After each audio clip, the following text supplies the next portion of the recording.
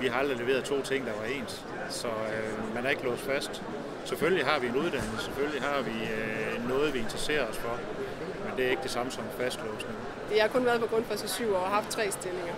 Øhm, så man har jo altid mulighed for at dreje det i den retning, som man godt kunne tænke sig. At tro, at man er låst fast som ingeniør i, i et, et sted resten af sit liv, er, er nok ikke helt øh, sandt i mine ører. Øh, jeg tror tværtimod, at efterspørgselen på ingeniører og behovet for, for deres viden og tekniske kunde er så stor, at man nærmere omvendt nogle gange selv kan vælge at brage øh, efter de projekter, man finder spændende. I Fibertex er forskellige eksempler på ingeniører, som ikke længere arbejder som ingeniører, men som er gået en anden vej.